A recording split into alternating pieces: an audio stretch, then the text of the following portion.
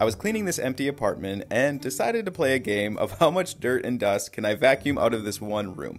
As you can see, I started with an empty canister here in my vacuum, worked my way across the room from one corner to the other. In this shot here, you can even see the super dirty door I cleaned in yesterday's video. Once I was done with the floors, I then went through and detailed all the edges and the woodwork. This part was definitely the most satisfying out of all the vacuuming. And the moment you've been waiting for, the results, that is a lot of dust and dirt.